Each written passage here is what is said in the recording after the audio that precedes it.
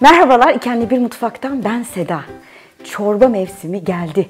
Hepimiz çorbaya bayılıyoruz ve bugün size bir pazı çorbası yaptık ki mis oldu. Hadi mutfağa. Evet, e, pazı sarması benim aşırı sevdiğim, çocuklarımın da çok sevdiği bir yemek ama gerçekten onu yapmak zor oluyor. Özellikle de büyük yaprak bulamazsanız küçük yapraklarda da sarmak daha da zorlaşıyor. O yüzden bu pazı çorbası biraz öyle çıktı. Büyük yaprakları sarmaya saklayıp küçük yapraklarda ne yaparım diye ve üşendiğim zamanlarda ne yaparım diye. O yüzden de mis gibi kıymalı bir pazı sarması yapacağız. Pazı ıspanakgillerden 8. bebeğinizin alerji durumuna göre 9. aydan sonra doktorunuza sorarak başlayabilirsiniz.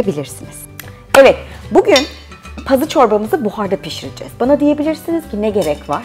Şu açıdan iyi oluyor. Birincisi buharda pişirmek zaten sebzenin e, besinini saklamak açısından kıymetli. Bir de çok fazla su koyup anneler uzun pişirmek için bu sefer çok sulu kıvamda getiriyorlar ve çocuklar özellikle 8. 9. aydan sonra kendileri de yemek istedikleri için o kıvam çok yoğun oluyor. e, Çok sulu oluyor. O yüzden de daha yoğun yapabilmek için iyi oluyor. İkincisi de suyu bu sefer az koyarsanız da çocuklarla ilgilenirken altı tutabiliyor. O yüzden ben bunu seviyorum. Ee, sevgili e, buharda pişirme sepetimizi koydum. Hep bize soruyorsunuz, istediğiniz yerden bulabilirsiniz. İnternetten, süpermarketlerden, züccaciyelerden. Şimdi su koyuyorum. Suyu koyarken de önemli olan şey aslında sepetin altında kalması ve e, sepete değmemesi. Süper. Şimdi pazıyı sonraya bırakacağım çünkü çok hızlı buharda e, yumuşayacak diye. O yüzden de beni daha çok zorlayacak olan diğer besinleri koyuyorum. Soğanı koyuyorum. Havucu koyuyorum. Ve kıymayı koyuyorum. Bir de sarımsağı e, içine rendeleyeceğim. Bunun için yapıyorum. Eğer bebeğiniz pütürlü yemeğe alışıksa ve daha şey yapacaksanız, e, daha pütürlü bırakacaksanız çorbayı, o zaman sarımsağın parçalarını onu rahatsız etmemesi için özellikle yapıyorum. Ama zaten tamamını blenderdan geçirecekseniz o zaman sarımsağı da bütün atabilirsiniz. Evet bunlar hazırlar. Ağzını kapadım ve başlıyorlar pişmeye. Bir de köftelik bulgurumuz var. Köftelik bulgur irmik koyabilirsiniz, koymamayı tercih edebilirsiniz. Nasıl arzu ederseniz. Ama e, karbonhidrat tarafında e, e, öğünün doldurmak için ısıttığım suyu koyacağım. Sadece üstünü kaplayacak şekilde bırakmanız yeterli. Ne zaman yaparsanız köftelik bulgur bu bu arada, yemeklik bulgur değil.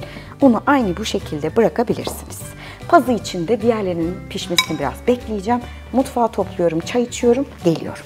Evet, şimdi içeride arada kontrol ettim mutlaka suyun azalma olursa diye ama gayet güzel piştiler kıyma, soğan, sarımsak ve havuç. Şimdi şeyi atıyorum, pazıyı. Aynen o da ıspanak gibi çok çabuk sürecektir. Biraz onu bekleyeceğim birkaç dakika. Ondan sonra da köfte bulguru katıp hallediyoruz. Evet efendim, şimdi e, pazıyı da kattıktan sonra o da hazır oldu. Hepsini birden Şunun güzelliğine bakın. Sanırım buharda pişirmenin en güzel taraflarından biri besinlerin e, renginin de aynı şekilde kalıyor olması. Ben e, 8 aydan sonraki bebekler için olduğunda pazıyı hafif blenderdan geçirmek istiyorum. Bunu bebeğinizin durumuna göre veya yaşına göre yapabilirsiniz. Çünkü bu her yaştaki bebek için, çocuk için yapılabilecek bir çorba. Benimkiler 8 ve 3,5 yaşında halen pazı çorbası evde yapılmıyor. Ama şöyle bir şey var. Daha küçük bebeklerde yapraklar, taze baharatlar, işte maydanozlar, pırasa, aman pırasa demiştim, pazı veya ıspanak damağa yapışabilir. Onu engellemek için biraz daha şey yapacağım. Bütün besini almış olan buharda pişirme suyunu da geçiriyorum.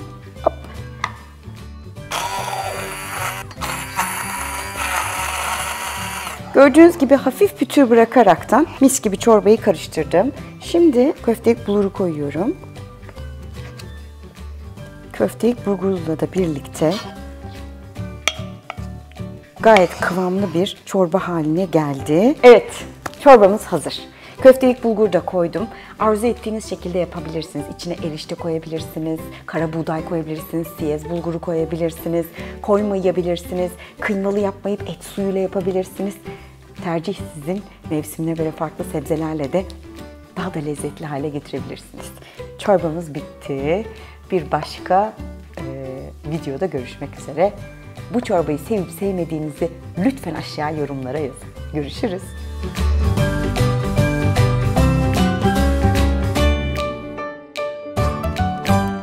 Sevgili İki Anne Bir Mutfak takipçileri, sizin için hazırladığımız bir sürü videomuz var. Hadi abone olun. Bu iki videoyu seyretmek isterseniz tıklamanız yeterli.